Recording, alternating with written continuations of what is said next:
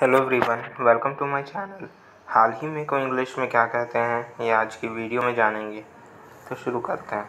हाल ही में को इंग्लिश में recently lately at the latest या ऑफ़ लेट कहते हैं। Recently lately at the latest या ऑफ़ लेट एक एग्ज़ाम्पल से समझते हैं इसे। Example recently he took my photo या रिसेंटली का मतलब है हाल ही में। उदाहरण, हाल ही में उसने मेरी फ़ोटो खींची। इसी के साथ आज के वीडियो में इतना ही। Thank you so much for watching my videos